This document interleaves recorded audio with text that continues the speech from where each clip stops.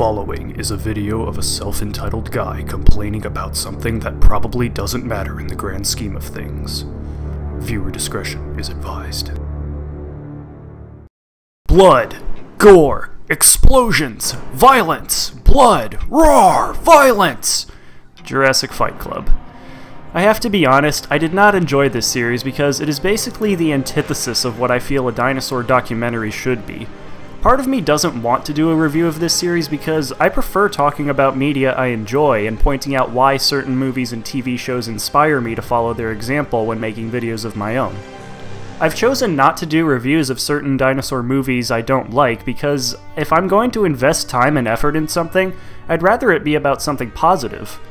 However, I do feel Jurassic Fight Club is worth talking about because, like I said, it is a huge example of what not to do with the dinosaur documentary genre, and there is a lot to be learned from this series' misguided decisions so as not to repeat them, and where this series fails, where others of its kind succeed.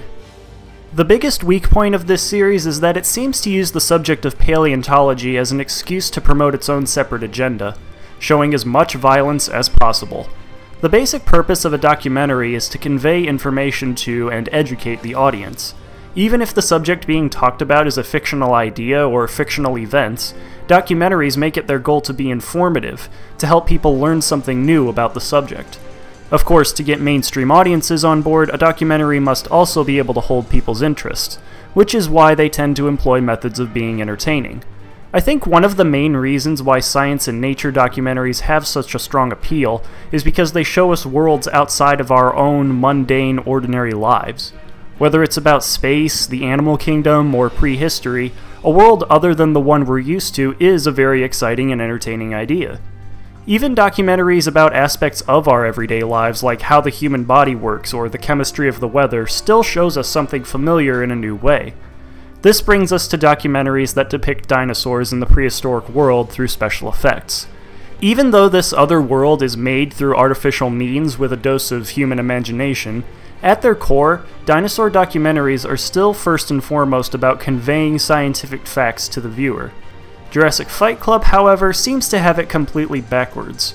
I never once got the impression while watching this series that it was primarily interested in teaching me something. The main goal seemed to be to bait viewers with roaring, battling monsters, with the actual science of dinosaurs taking a backseat to in your face action. Another major issue is the extremely poor editing, and I don't mean that the series is put together lazily. On the contrary, everything about the editing appears to be very deliberate with a clear sense of direction of how the episodes are supposed to look and feel. But unfortunately, it takes the worst possible direction it could go in. It's almost as if the filmmakers thought their audience would have absolutely no attention span and would lose interest without constant stimulation. The exhilarating tone of the series never lets up even for a minute. From start to finish, every 45 minute episode is edited like an action movie trailer, complete with the epic trailer voice narrator who always says every line like it's a catchphrase, and a soundtrack that always sounds like the final battle of an adventure film. And if that wasn't enough, they throw in endless gimmicks like flashes between jump cuts, randomly sped up footage, rotating camera angles of freeze frames, and pointless filters and overlays on top of everything. More competent dinosaur documentaries, like When Dinosaurs Roamed America, have their fair share of dinosaur fights and destruction scenes, but the fact that most of When Dinosaurs Roamed America is passive and easygoing makes these scenes more exciting because it's such a change of pace. As for the gimmicks of the 3D models dissolving into skeletons and the fiery cloud transitions to modern day, these also leave more of an impression because they're so infrequent. Ironically, Jurassic Fight Club's attempt to keep viewers interested gets boring really quickly, because we become so desensitized to this overload of action that it stops being exciting, because there's no calm moments to compare it to. It's like being in a car traveling at 70 miles an hour for a long period of time. Sure, it's exhilarating at first, but it doesn't take very long for you to get used to it, and it just feels normal after a while. And of course, all of this comes at the cost of conveying the scientific facts to the viewers. This is a scene from Allosaurus, a Walking with Dinosaurs special, and this is a scene from Jurassic Fight Club. Both of them are trying to convey the same thing how scientists can infer dinosaur behavior by comparing the shape of a dinosaur's brain to those of modern animals. In Allosaurus, we see a shot of a dinosaur's head slowly fade to a shot of its brain while the narrator explains what we're looking at. The next shot is of a scientist holding a model of a bird brain next to the dinosaur brain, pointing out that the area of the bird's brain used for sensory input is small compared to the area used for processing information. In other words, birds have weak senses of smell and more emphasis on intelligence. Next, the scientist holds a model of an alligator brain next to the dinosaur brain, showing us that they look very similar.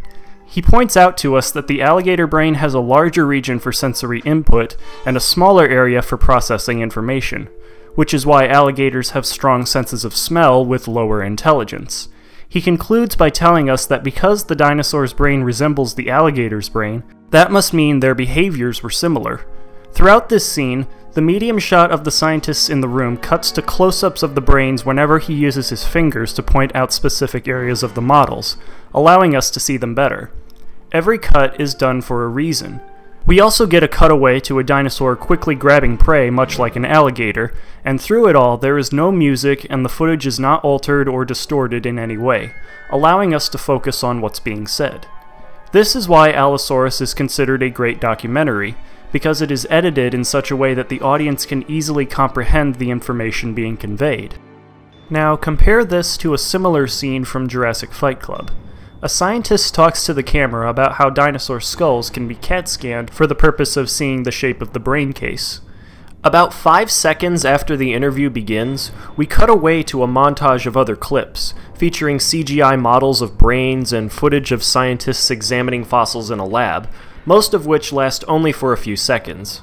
This is what's known as B-roll, where instead of just showing the same shot of the interviewee, we only perceive the audio while the video consists of other shots related to the topic being talked about. It's a technique that's used in television and commercials all the time. The intent is to keep a scene from becoming monotonous by staying on the same shot of a talking head for too long. B-roll is usually an effective way of holding audiences' attention, but in this instance, it's not the right choice. Ever see a car commercial where the voice tells you that this particular brand has better safety features or is more built for handling rough terrain, while showing B-roll of those things? It doesn't really go into the details of how those features work, only that those features work. Now, for a commercial, this kind of editing makes sense because the point is to sell you a product by showing the benefits, not educating you on how cars are put together. But Jurassic Fight Club is supposed to be educational, so this commercial style editing doesn't work. For all the effort it must have taken to put that sequence together, it barely managed to help us understand how dinosaur brains worked. We learned nothing about brain anatomy or how brain shape influences certain behavioral traits. All we know is that scientists somehow know what dinosaurs acted like. This clearly deliberate but meaningless editing style surfaces throughout every scene of every episode of Jurassic Fight Club. An endless slew of jump cuts and flashy transitions between shots that barely have time to register in your mind for 45 minutes. It's not just annoying, but it also sacrifices the communication of information to the audience for ceaseless, unending audio and visual stimulation.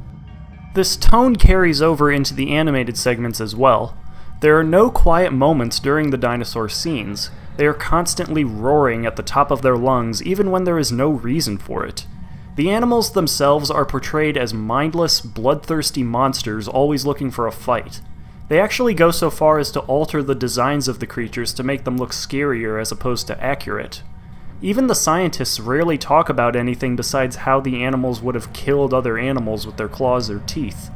Whenever subjects like prehistoric plant life or symbiotic relationships are brought up, it's only for a couple minutes or so, and then it goes right back to the guts and gore. Actual scientific issues, at least ones not having to do with violence, are treated like an afterthought in this show, like something they have to get through before getting to what it considers the important stuff. Now, you might be saying to yourself, of course the show is like this, it's called Jurassic Fight Club. Creature violence is the main topic of the series, what did you expect? Which brings me to the most important flaw of the show. This is not a good premise for a dinosaur documentary. Paleontology has so much more to offer than just prehistoric creatures tearing each other's guts out. Making a piece of media, and a supposedly educational piece of media at that, that only focuses on violence is not only a missed opportunity, but potentially misleading to audiences that may not know much about dinosaurs to begin with. To put things in perspective, imagine if you knew nothing about wolves, and to learn more about them, you watched a documentary that only showed footage of wolves killing and eating other animals and fighting with each other. Sure, it would technically be accurate, violence does play a big part in the lives of wild animals, but there's so much more to learn about wolves, like their pack structure and social hierarchy, their biological adaptations for surviving in their particular habitat, and their interactions with the animals they don't eat. The same thing is true of extinct animals like dinosaurs. There are countless fascinating things to be learned about these creatures, and Jurassic Fight Club only presents a limited picture of what they were like. I can only assume there are two possibilities as to how the idea for Jurassic Fight Club was conceived. One, the filmmakers wanted to teach people about dinosaurs, but assumed an emphasis on violence would be the only way to get audiences interested. Or two, the filmmakers wanted to make a violent dinosaur show knowing how marketable it would be, and put in the obligatory science stuff so it would qualify as educational. Either way, it misses the mark. I can't speak for everyone, but the thought of violent battles is not the only reason why I find the subject of dinosaurs worth exploring, which is why I personally believe documentaries about them should aspire to be more than that. I don't think I'm alone here. I believe audiences have broader areas of interest than this show gives them credit for. I believe scientific discussion will still hold people's interests without the use of editing gimmicks. I believe documentaries can do better than Jurassic Fight Club. Thanks for watching. If you enjoy my videos and want to support future projects, click the Patreon link in the description. You'll also receive benefits like early access to videos.